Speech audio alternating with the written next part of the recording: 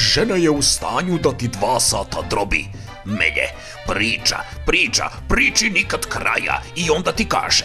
Nemam reći stvarno.